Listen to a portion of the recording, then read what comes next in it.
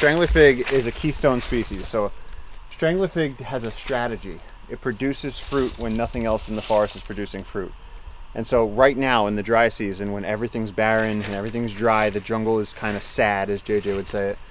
The strangler fig is producing fruit. So all the animals go to the strangler fig tree, hmm. they eat the fruit, go to the next tree, poop, and then strangler fig starts ah. growing. So now all of these trees are competing for light. This thing is going to grow based on how much light it can access. Hmm. All of the trees that have big trunks have been doing it for years and years and years, and everything. This is just a light economy. Everybody's fighting for light. Hmm. So when those strangler figs get left on the branches of a tree, they get a turbo pack. It's like a trust oh, fund. Oh, yeah. They're like, yo, way ahead. So then they drop down some some roots that hit the ground, get some nutrients. They hit the rain, then they outcompete the host tree Oh wow. for light. So this is the host tree. This is the original tree. This is the strangler fig. So how long? I mean, the host tree seems to be doing fine too. Host tree's doing okay, but in another hundred years or so, I would say this strangler fig consumes the whole thing. Host tree dies, rots out. Strangler fig fills out and just becomes its own tree.